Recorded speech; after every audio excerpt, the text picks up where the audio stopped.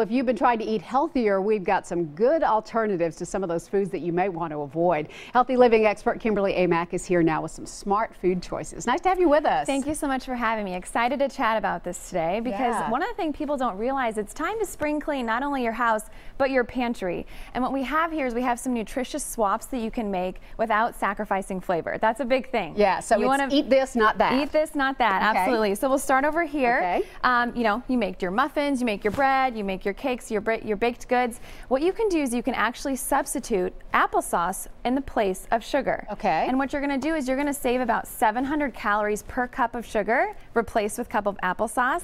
So it's an equal swap. equal swap. The only thing you would like to do is that other liquid ingredients cut that back down by a fourth of a cup, Mm-hmm. and so that you don't lose any consistency that you want to keep for your baked goods. So it doesn't change the flavor, it just cuts the calories. Doesn't change the flavor, cuts the calories, and also cuts down that saturated fat. That's something you really want to watch out for, and a very easy swap. Everyone has applesauce in their pantry. Everyone has sugar. Let's choose the applesauce next time. Sounds good. okay, breakfast bagels. I think a lot of folks don't realize how many calories are in them. Yes, they are. There's just tons. What you're going to do here is you're going to swap your bagel and cream cheese for a whole wheat English muffin with no sugar jam. One of the biggest things here, you're definitely going to save calories, about 300 calories you're going to save there, but the fat grams is what we're really focusing on here. It's about 20 grams difference in fat between the bagel and the English muffin. And hey, it's super tasty. I love English muffins. They're so great to take in the go, in the car. Perfect for work as well. Yeah, yeah, and the no sugar added jams are really delicious. too. Absolutely. You can see we have full fruit in there, some of the cherries and blueberries. So it's something That's an easy swap. You don't miss anything. No. Yeah. Yes. Okay, this is a good idea uh, if you like sour cream on, on lots of things, and lots of people do. That's right. I love sour cream, especially on chili, tacos. You were talking about um, baked potato as well.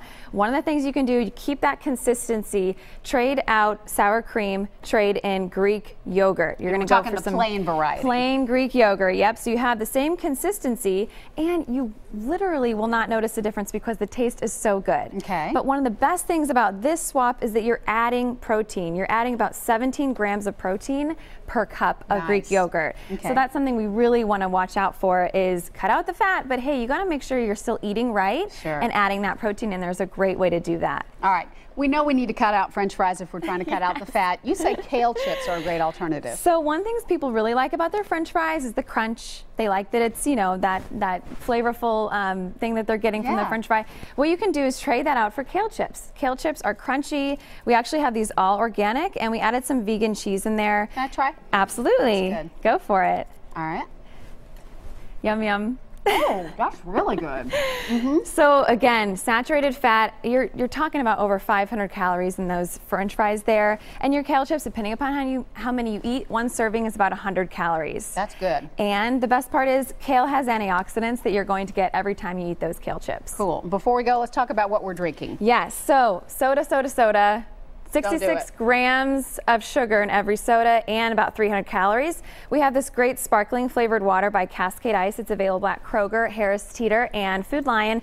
It's the same fizzy taste. It has that carbonation, and you're not having, you have no calories and no sugar whatsoever. Cool. So you keep that fizz, keep that flavor, but cut out all the sugar and the calories. Some great ideas. Yes. Thank you so much. You're so welcome. Thanks for All right, having me. Start eating kale chips.